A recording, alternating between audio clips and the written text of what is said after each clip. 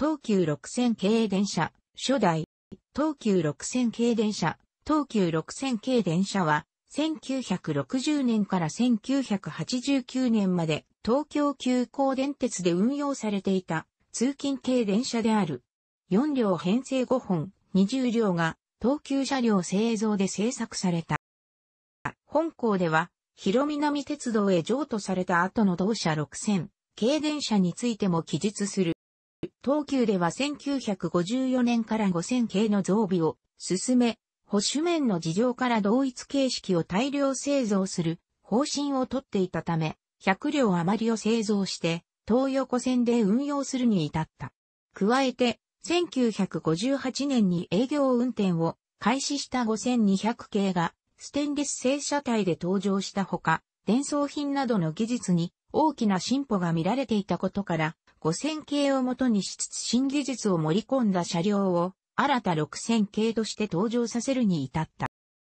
編成については、当時の東横線の運転自分などを満たす性能を確保するため、全電動車方式とすることとなった。しかし2両ユニットで考えた時に MT ユニットの車両よりも製造費用が高くなってしまうため、台車1つあたりのモーターを2つではなく1つとする、1台車、1モーター装備、二軸駆動を採用した。これにより、二軸駆動であるために車輪が空転しにくくなる効果を得つつ、モーター数を半減することで製造費の低減が図られた。一台車1モーター二軸駆動を具体化するにあたり、東急では最初に4両固定編成を2本製造した。この2本は、車体は同一であるが、伝送品の違いにより A 編成、B 編成と呼ばれていた。両者を比較検討した結果、A 編成の方式の方が優れているという結論に達したため、A 編成の使用を踏襲しつつ、主電動機の出力をアップした C 編成と称するタイプが量産された。各編成の特徴は以下の通りである。詳細については、口述、車両外説の項も参照。一台車一モーター二軸駆動方式を採用したことで製造費の縮減には成功したほか、空気バネ台車や回生ブレーキを初めて導入するなど、その後の東急の車両に広く使用される技術の多くを初めて盛りんだ車両でもあった。一方、台車の構造が複雑になったことや、騒音や振動が目立つなどの欠点が浮き彫りにもなった。また、本格的な増備が1962年に、オールステンレス車体で登場した7000系変わられたことで、総計20両の増備にとどまったことも、保守管理上の悩みの種となった。5200系で採用されたセミステンレス構造を引き続き採用し、骨組みは不通行でその上から厚さ 0.8mm のステンレス板を貼り付けるというものだった。5200系との相違点は、側面には客用扉にまでビードが入っているのに対し、先頭部にはビードが入っていない点である。その外観から湯たんぽの愛称を付けられていた。先頭部は5000系、5200系の非貫通スタイルから一転して、中央に貫通扉が設置された。これは将来6両編成で運転するにあたり、その過渡期には4両と2両の分割併合を行う機会があると予想された目であった。客用扉は、同社では初めて両開き、幅 1300mm のものが1両あたり3箇所設置され、編成を組んだ際に扉間隔がおおむね6メートルになるよう配慮して側面のレイアウトが決定された。車両番号は5200系と同じく前面向かって右上と側面のビードの間に紺色の小さな文字で印字する方式とされた。また、18立方メートルドア、側扉間隔6メートルという仕様は、旧、帝都高速度交通営団、営団地下鉄日比谷線、当時は2号線と故障されていた乗り入れ規格に準拠したものであったが、これについて当時、東急の車両部長を務めていた白石康之は、当社がこの2号線に乗り入れ運転をするようになるのはまだ3から4年先のことであるから、この6000型を使用するかどうかは別として、この核による電車を申請し、すべての点からこれを検討しておくためであると述べている。結局本形式による乗り入れは行われず、2年後に登場する7000系が乗り入れ分用に投じられることにな。なお、7000系では床面高さが規格に準拠した 1125mm 基上面基準となっているのに対し、本系列ではそれより高い 1150mm となっており、本系列での直通運転は不可能であった。一台車、一モーター装備、二軸駆動という日本の電車としては非常に珍しい特徴を持つ。ほぼ同時期に電気機関車においても日本国有鉄道、国鉄 EF80 型などに一台車一種、電動機方式が採用された主電動機個数を減らして得られる空転防止、軽量化、電動機の保守軽減などの効果より機械的な特殊さ、複雑さによる欠点の方が大きく、特に日本国内の普通鉄道ではその後しばらくの間、採用されることがなかった。本形式ではいずれも台車中央にモーターを1個置くが、AC 編成は枕木方向の型軸モーターに複数の平ら歯車とたわみ継ぎ手を組み合わせた方式で、モーター軸第1弾ギアボックス、カルダン軸第2ギア装置の順に駆動力が伝わる。ギアの数が多かったため、共鳴音の音程は非常に高く、同時にやかましいものだったという。A 編成の台車は TS-311 型で固定軸距は 2000mm であった。C 編成では TS-311 型を改良した TS-315 型となり、軸バネ部分にコイルバネが追加された。なお、台車中央枕木方向に主電動機軸を置く方式は電車用としては、日本国外においても、類例を見ない方式である。ちなみに、AC 編成の制御機は、副管電動機の分巻機械自制御を、境自調整機、FR と呼ばれる、整粒子型の可変抵抗器をサーボモーターを使いて、抵抗値を変更する。一方の B 編成は、レール方向に設置された両軸モーターを使用した直角カルダン駆動方式で、スパイラルギア、レベルギアの順に駆動力が伝わる。これは 5000K でも採用されていた方式であり、ギアの数が少ないこともあって、走行音は非常に静かだったという。台車は TS-312 型で、モーターが線路方向に配置されている。関係上、固定軸距は 2400mm と少々長めになった。なお、一台車一種電動機全軸駆動の実例として、B 編成に見られるレール方向に主電動機軸を置くものは、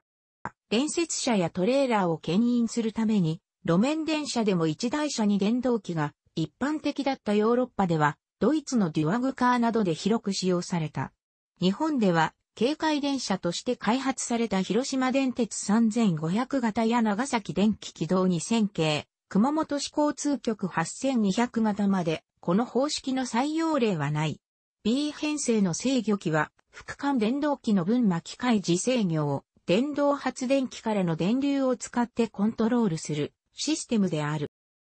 台車はいずれも、東急では、初となる空気バネ付き台車であった。基礎ブレーキは、AB 両編成では、構造が簡素なため保守管理の手間を省くことができるという予測から、ドラムブレーキが採用された C 編成では踏みづら両抱き式のものを当初から装着していた。当時のドラムブレーキは鉄道車両に採用するには構造的に丈夫でなかったため A 編成、B 編成もそれぞれ1962年1963年に同じ方式改造された。当初はすべての編成が改正ブレーキを搭載していたが B 編成の改正ブレーキは保守合理化のため1969年に撤去され、電磁直通ブレーキのみとされた。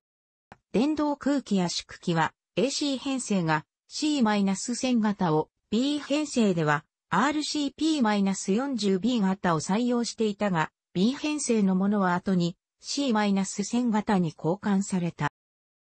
車内は5200系に準じた仕様とされた。蛍光灯は 40W カバー付きで、中央にはファンデリアが1両あたり6台設置された。客室窓は上下2段で、先の5200系や後の7000系初期車と同様、2枚のガラスがワイヤーで連動する鶴瓶式であった。1970年から客用扉がコルゲートの入っていないものに交換され、翌1971年からは車内ファンデリアを扇風機に取り替える工事が施行された。また、口述する更新工事の施行までに、客室の蛍光灯カバーも撤去された。そして1976年3月から1978年12月まで、より大掛かりな更新工事が施行された。主な内容は以下の通りである。1983年には、全消灯がシールドビーム2灯に取り替えられた。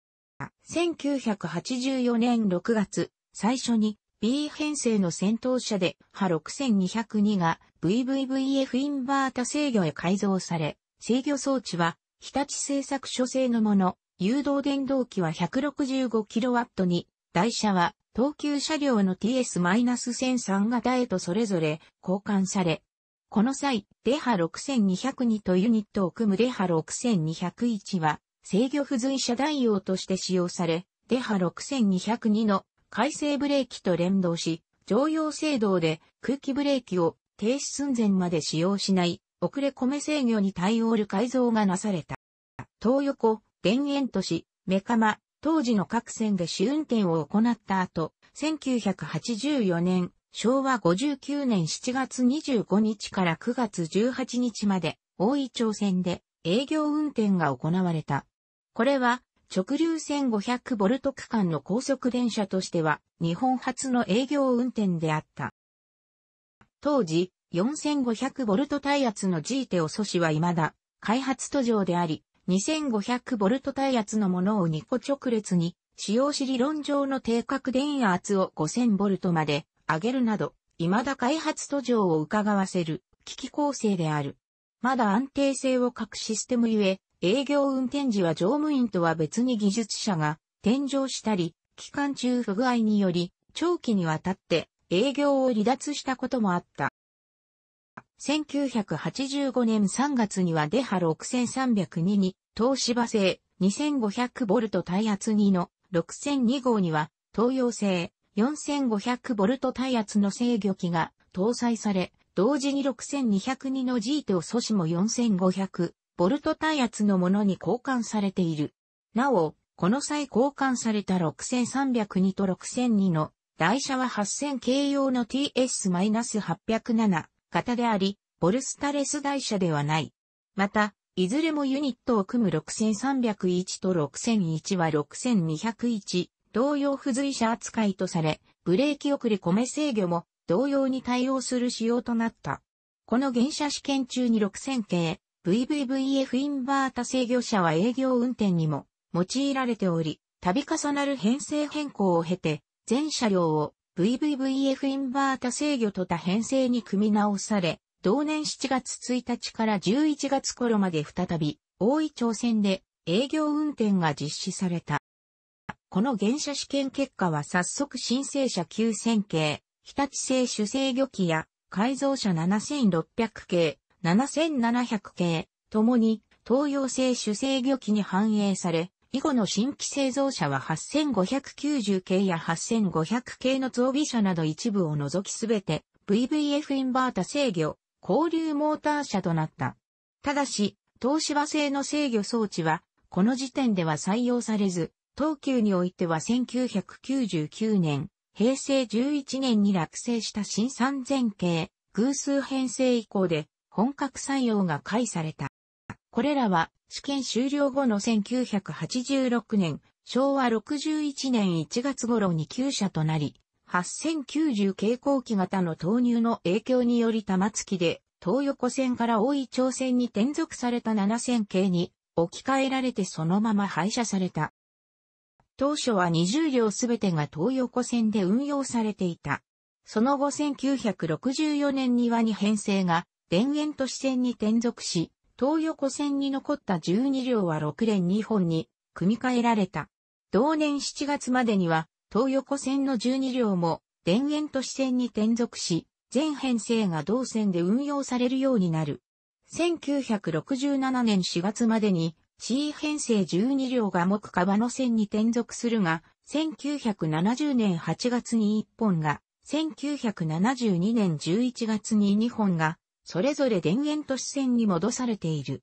1979年には、全車が東横線に復帰し、1981年に大井町線に18両、6連3本が、子供の国線の予備車として2両が、転属するまでは8連で、行運用に充当されることもあった。この8連は当初 A 編成と B 編成を並結したものであったが、半年ほどで C 編成による4プラス4の8連に置き換えられている。なお、東横線での急行運用時には、先頭車の前面に方向幕とは別に7000系、7200系、8000系と同様に、急行の種別札を装着していた。1986年6月7日にデハ6001.60025が廃車された。